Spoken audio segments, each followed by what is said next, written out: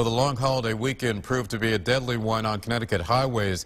State police say two people were killed in separate crashes. All told, there were about 570 accidents reported. Troopers made 25 DUI arrests. They also handed out more than a thousand tickets. The majority of them were for speeding.